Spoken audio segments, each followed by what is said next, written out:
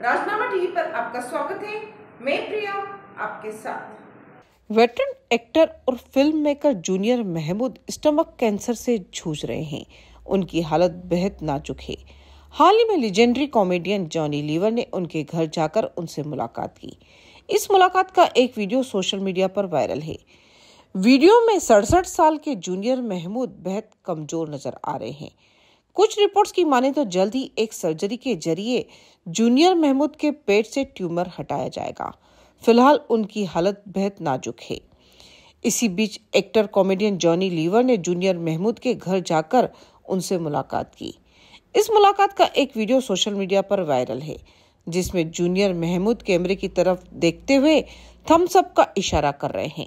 वहीं अमर उजाला को दिए एक इंटरव्यू में महमूद के भाई सलाम काजी ने कहा जूनियर महमूद के पेट में कैंसर है। उनका ब्लड प्रेशर और शुगर प्रेशर बढ़ गया है, जिसकी वजह से उनका करीबन 20 किलो वज़न घट गया।